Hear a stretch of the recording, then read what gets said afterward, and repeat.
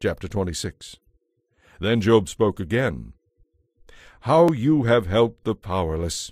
How you have saved a person who has no strength!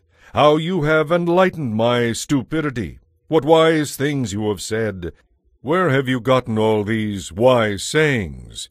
Whose spirit speaks through you? The dead tremble in their place beneath the waters. The underworld is naked in God's presence. There is no cover for the place of destruction. God stretches the northern sky over empty space and hangs the earth on nothing. He wraps the rain in his thick clouds, and the clouds do not burst with the weight. He shrouds his throne with his clouds. He created the horizon when he separated the waters. He set the boundaries for day and night.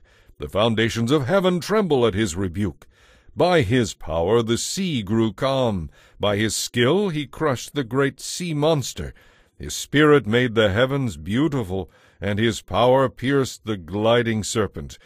These are some of the minor things he does, merely a whisper of his power. Who can understand the thunder of his power?